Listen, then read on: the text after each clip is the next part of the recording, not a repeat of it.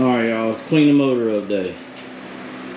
I've done cleaned the back side of this, got everything off of it so I can get it mounted to the uh, engine mount.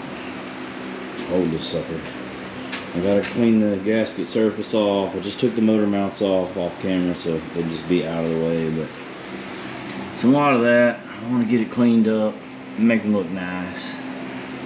I gotta be a little careful though, because I don't have the harmonic balancer on here. I guess it don't really matter if I get water in the water jackets. That ain't a big deal. And then I got my, uh, oh, it's on the other side, but I got that dipstick hole. But that's what it looks like now. That's what we started with. I'm gonna do a time lapse, a time